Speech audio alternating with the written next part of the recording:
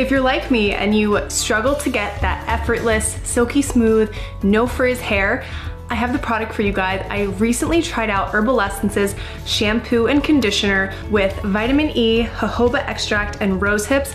It is a game changer. Truthfully, I was blown away at how smooth my hair was after just using the shampoo and conditioner. I mean, it's pretty rare that my hair looks like this, guys, and this Herbal Essence shampoo and conditioner did not disappoint. When going to purchase a hair care product, not only do I wanna make sure that it performs great, which I definitely did, but I wanna know that the integrity of the brand is there, the products have good ingredients, and this one is made with zero mineral oil, which is fantastic.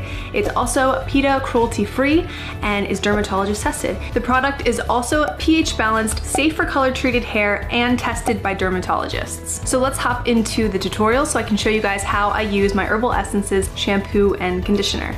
The first thing you're going to notice is how good the Herbal Essences shampoo smells.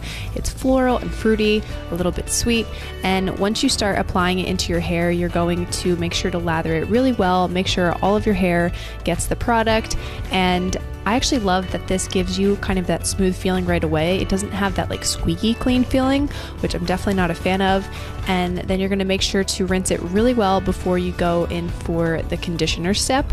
Now, I'm someone who likes to let my conditioner sit for maybe a minute or two just to really allow my hair to absorb the product before I rinse it.